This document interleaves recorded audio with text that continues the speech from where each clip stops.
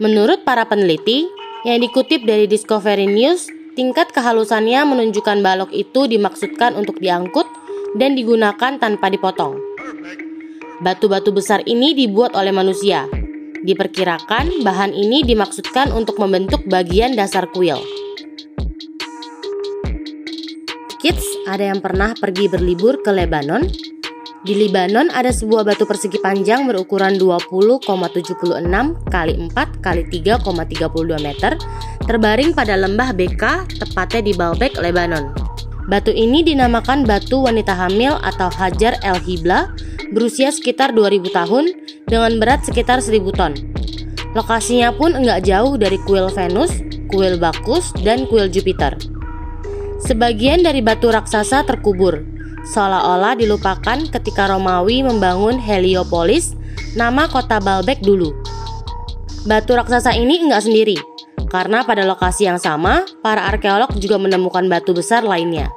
Pada tahun 2014, ada sebuah batu yang ditemukan oleh para arkeolog dari German Archaeological Institute Jerman di lokasi yang sama.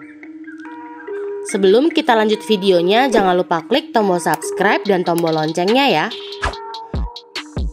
Beratnya diperkirakan sekitar 1400 ton dengan ukuran 19,6 kali 6 kali 5,5 meter.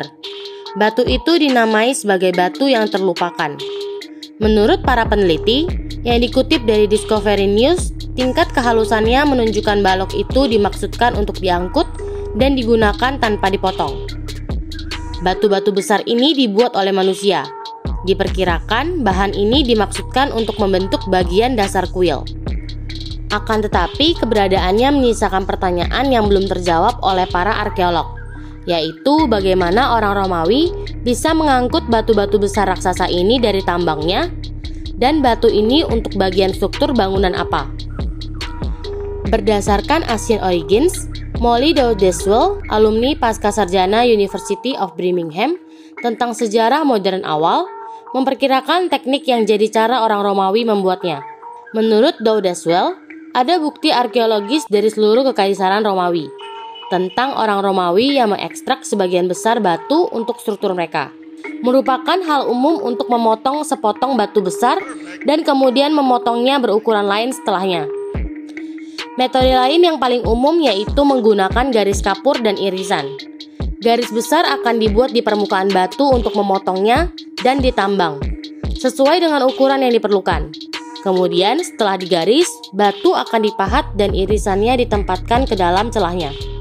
Namun, bagaimana potongan batu-batu raksasa ini bisa dipindahkan ke lokasi pembangunan belum diketahui. Dodeswell memperkirakan mungkin caranya seperti peradaban lama lainnya dalam memindahkan batu. Kemungkinan caranya yaitu dengan menggunakan sistem katrol.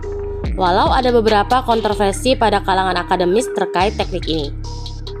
Bukti sistem ini dicatat dalam relief Asyur di abad ke-9 sebelum Masehi dan digunakan oleh tukang batu Yunani pada abad ke-7 sebelum Masehi.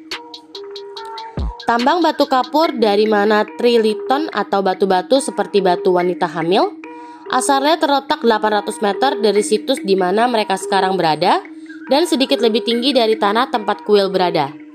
Hal ini membuat pemindahan batu-batu besar ini semakin sulit. Bukti yang dikumpulkan dari pengamatan arkeolog terhadap batu-batu pada situs menyiratkan bahwa setelah diukir, batu-batu itu diletakkan di atas roll. Orang Romawi mungkin menggunakan sistem katrol jenis derek yang sudah mereka kenal. Sistem ini dijelaskan oleh Vitruvius, arsitek dan insinyur Romawi lewat catatannya. Beberapa bangunan di Romawi pun menggunakan sistem ini, melibatkan dua pekerja yang mengoperasikan alat penderek. Dodeswell menambahkan, meskipun sistem ini enggak digunakan di Baalbek, sistem ini menunjukkan metode yang diandalkan oleh para pembangun kuno untuk memindahkan bangunan yang sangat berat dan tentang bagaimana metode yang telah dicoba dan diuji dapat diadaptasi untuk lingkungan bangunan yang berbeda. Mengenal mengapa batu besar digunakan di Baalbek, Para arkeolog memperkirakan karena kars di sana kuat.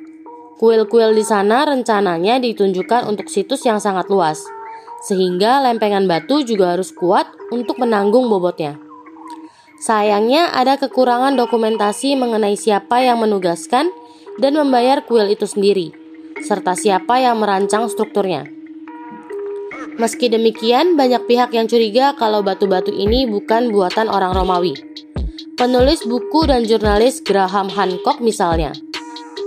Dia menulis di blognya kalau ia nggak setuju dengan pandangan arkeologi arus utama bahwa salah satu dari tiga blok megalitik pada tembok balok atau fondasi megalitik misterius kuil Jupiter ialah karya orang Romawi. Nah, kids itu dia misteri dari batu raksasa yang ada di Lebanon yang sudah dirangkum dari berbagai sumber. Sampai di sini dulu ya videonya. Jangan lupa like, komen, subscribe, dan share ke teman-teman lainnya ya kids. Bye-bye!